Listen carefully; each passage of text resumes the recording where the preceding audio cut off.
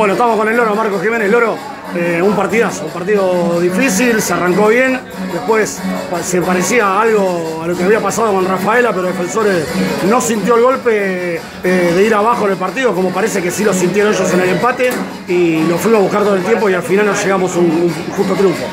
Sí, como decimos, creo que arrancamos muy bien. Creo que hasta los 20, 25 no sufrimos el salto. Y por ahí en dos distracciones, en la categoría la, la pagamos caro, pero, pero como decimos, eh, no bajamos los brazos, seguimos intentando y bueno, en el segundo tiempo sabíamos que teníamos 50 minutos para, para seguir buscándolo y bueno, creo que no bajamos los brazos, fuimos